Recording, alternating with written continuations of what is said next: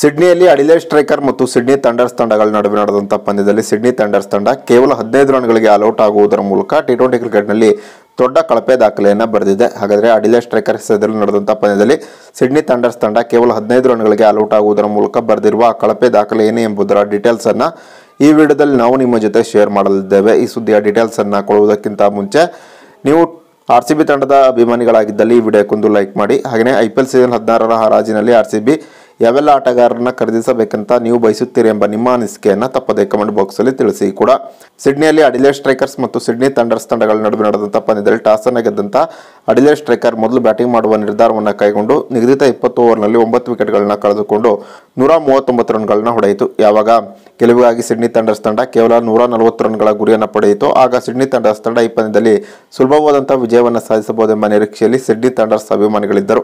ಯಾಕೆಂದರೆ Sydney Thunders ತಂಡದಲ್ಲಿ Alex Hales Matthew Gilkes, Rilee Rossouw Jason Sangha ಅಂತಹ ಸ್ಫೋಟಕ ಬ್ಯಾಟ್ಸ್ಮನ್ಗಳಿದ್ದರು. ಆದರೆ ಅಡ್ಲೆ ಸ್ಟ್ರೈಕರ್ಸ್ ತಂಡದ ಬೆಂಕಿ ಬೌಲಿಂಗ್ ಪ್ರದರ್ಶನಕ್ಕೆ ಸಿಡ್ನಿ ಥಂಡರ್ಸ್ ತಂಡ ಕೇವಲ ಹದಿನೈದು ರನ್ಗಳಿಗೆ ಅಲೌಟ್ ಆಗುವುದರ ಮೂಲಕ ಟಿ ಟ್ವೆಂಟಿ ಕ್ರಿಕೆಟ್ನಲ್ಲಿ ಒಂದು ದೊಡ್ಡ ಕಳಪೆ ದಾಖಲೆಯನ್ನು ಬರೆದಿದೆ ಅಂತಲೇ ಹೇಳಬಹುದಾಗಿದೆ. ಕೇವಲ ಐದು ಪಾಯಿಂಟ್ ಐದು ಓವರ್ನಲ್ಲಿ ಸಿಡ್ನಿ ಥಂಡರ್ಸ್ ತಂಡ ಹದಿನೈದು ರನ್ಗಳಿಗೆ ಆಲ್ಔಟ್ ಆಗುವುದರ ಮೂಲಕ ಟಿ ಟ್ವೆಂಟಿ ಕ್ರಿಕೆಟ್ನಲ್ಲಿ ಅತಿ ಕಡಿಮೆ ಮೊತ್ತಕ್ಕೆ ಆಲ್ಔಟ್ ಆದಂಥ ತಂಡವೆಂಬ ಕುಖ್ಯಾತಿಗೆ ಸಿಡ್ನಿ ತಂಡರ್ಸ್ ತಂಡ ಪಾತ್ರವಾಗಿದೆ ಅಂತಲೇ ಹೇಳಬಹುದಾಗಿದೆ. ಸಿಡ್ನಿ ಥಂಡರ್ಸ್ ತಂಡದಲ್ಲಿ ಅಲೆಕ್ಸ್ ಎಲ್ಸ್, ರೈಲಿ ರಾಸ್ಕೋ ಅಂತಹ ಸ್ಫೋಟಕ ಬ್ಯಾಟ್ಸ್ಮನ್ಗಳಿದ್ದರೂ ಕೂಡ ಸಿಡ್ನಿ ಥಂಡರ್ಸ್ ತಂಡ ಹದಿನೈದು ರನ್ಗಳಿಗೆ ಆಲ್ಔಟ್ ಆಗಿದ್ದು, ಕ್ರಿಕೆಟ್ ಅಭಿಮಾನಿಗಳಿಗೆ ದೊಡ್ಡ ಮಟ್ಟದಲ್ಲಿ ಅಚ್ಚರಿಯನ್ನು ಮೂಡಿಸಿದೆ ಅಂತಲೇ ಹೇಳಬಹುದಾಗಿದೆ.